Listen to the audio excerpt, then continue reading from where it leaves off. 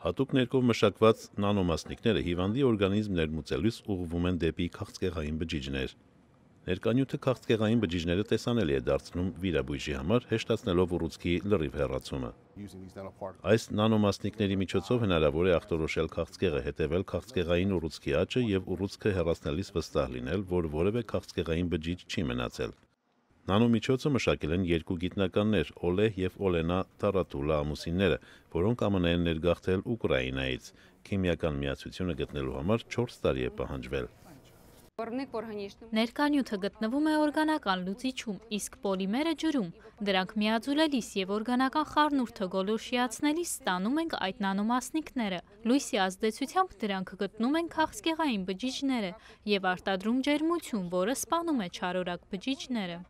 Նոր միջոցը հաջողությամբ փորձարկվել է մկների եւ ճագարների վրա։ Հաջորդ քայլը կլինիկական փորձարկումներն են։ Հետազոտողները նշում են, որ քաղցկեղային բոլոր բջիջների հեռացումը կենսական նշանակություն ունի։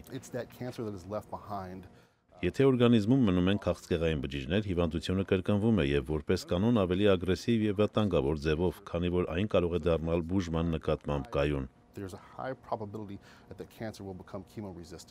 Հետազոտության համար անհրաժեշտ քաղցկեղային բջիջների մեծ մասը աճեցվում է այս լաբորատորիայում։ Բժիշկների եւ գիտնականների խոսքերով նոր նանոմիջոցը չափազանց խոստումնալից է, քանի որ հեշտացնում է չարորակ բջիջների եւ առողջ հյուսվածքի վիզուալ տարբերությունը, ինչը կարող է քաղցկեղի բուժումը շատ ավելի թիրախային դարձնել։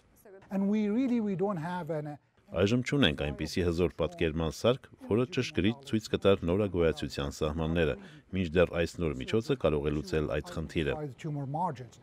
Այդուհանդերձ ամենապատասխանատու կլինիկական փորձարկումների փուլը դեռևս արժևում է։ Հետազոտողները հուսով են, որ փոքրիկ մասնիկները մեծ խնդիր կլուծեն։ Ամերիկայի ձայն Վաշինգտոն